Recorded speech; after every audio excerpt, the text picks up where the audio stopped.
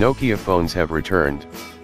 The once iconic phone brand is back in business thanks to Finnish startup HMD signing a 10-year licensing deal to stick the Nokia name on smartphones and tablets, and the Nokia 6 is the main attraction in its trio of launch devices.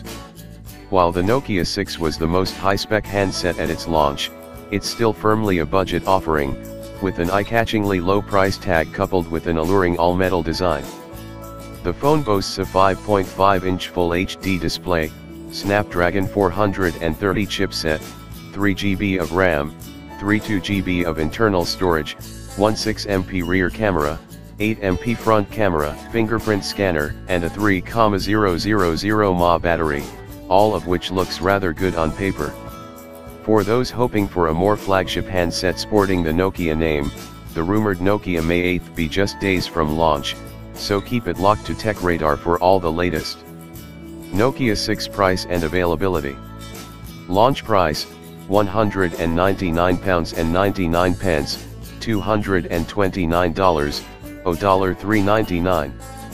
Current price, £199 and 99 pence, $229, $399.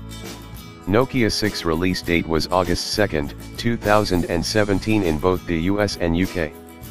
The Nokia 6 costs £199.99, $229, $399, SIM-free, which drops it into a rather affordable category in the market, and looking at the spec sheet it gives you a decent amount of bang for your buck. That price puts it above both the Nokia 3 and Nokia 5, but not by much, and it's worth considering this phone as well if you're looking at the other two. In the US it's available in three colors, copper, black, and silver, while in the UK you get an additional blue option. Those in Australia can only buy the black and silver versions, which is a bit of a shame for those looking for a bold shade. Design and display. Premium all-metal unibody design looks and feels impressive. Flat edges means it's not the most comfortable in the hand. 5.5-inch Full HD screen looks good and is great for gaming. The Nokia 6 is crafted from a single block of aluminum, and the result is a phone which feels far more premium than its budget price tag. It doesn't do anything particularly clever or different in terms of design, though, with elements of older Nokia smartphones recognizable here. There's a comforting weight to the handset, and while its 154 x 75.8 x 7.85 mm body makes it a sizable presence in the hand it's still easy to use.